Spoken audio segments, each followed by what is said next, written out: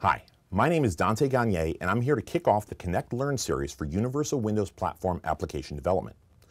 Over the course of this series, I'm going to help you get Visual Studio onto your machine and get you started on creating your first Universal Windows applications.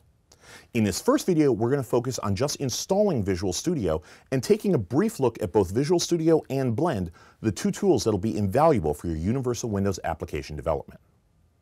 Now on this machine, I'm going to be installing the Enterprise Edition. Now, if you want to, the Community Edition also works, and most of the things that we show over this series will work in either edition. But for now, I'm using the Enterprise Edition, so let's go ahead and start with that. So I'm already up here at visualstudio.com, and you can see already over here on the left is the button to install Community 2015. This is the free edition that's available for everybody, and most of the things that I show you over this series are available in either Community or the Enterprise. But I'm going to scroll down just a little bit further and download the Enterprise Edition.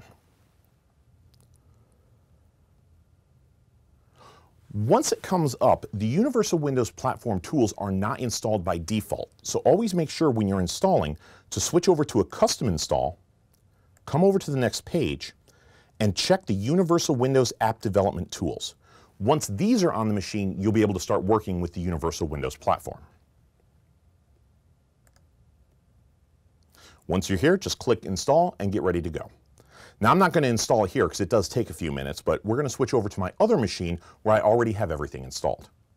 I've already brought up Visual Studio, and again, this is the Enterprise Edition. The first thing I want to help you do is make sure that you've got everything installed correctly. Now, very easily, all I need to do is go to New Project, and once the New Project dialog comes up, the first thing I want to make sure I have is the blank app Universal Windows. This is a Universal Windows Platform application. If this is not there, you're going to want to go into your control panel and modify the Visual Studio installation and make sure you add the Universal Windows Platform tools. Whenever you update Visual Studio, it will update any of the modules that you have for it at the same time.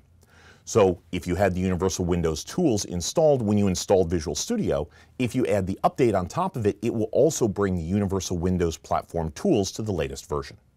As long as you've got Universal Windows here in your new project dialog, you've got all the tools installed and you're ready to go. Now, when you install Visual Studio, you're going to actually get two tools. You're going to get Visual Studio 2015 and you're going to get Blend for Visual Studio 2015. And a common question gets asked, which one do I use? Well, in a lot of ways, it's a matter of preference. Blend really shines when you're working with the design surface. So if you want to drag out your controls, try to get all your controls aligned nicely and things like that, that's where Blend's strength really shines through. If you're the kind of developer who prefers to work directly in the XAML, typing each character using IntelliSense and taking advantage of the coding abilities of Visual Studio, that's where Visual Studio is a little bit stronger. But honestly, either one works. The designer is available in Visual Studio and the coding tools are available in Blend. Over time, you'll play with the two tools and I'm sure you'll get more comfortable in whichever one you like. Another question that frequently gets asked is, what happens if my development house is one that can't move up to Windows 10? Now, naturally, development on Windows 10 is going to be the best option, but you can still do universal Windows application development on Windows 8 or 8.1. You can actually even go as far back as Windows 7. If you're on Windows 8 or 8.1, you're only going to be able to deploy your application to emulators or local devices, which means you're not going to be able to use the design surface and you're not going to be able to sideload the application onto your development box. You can still develop that way, but it's not the optimal situation. On Windows 7, the emulators are not available either. So on that device, you're going to need a separate device, say some other universal Windows application device, to deploy to as you're going along. So now we've got Visual Studio on your machine, and you know you've got the universal Windows tools. In the next video, we're going to be going into actually creating a video and taking a look at Visual Studio and Blend so you understand the environment that we're going to be working with. We'll see you next time.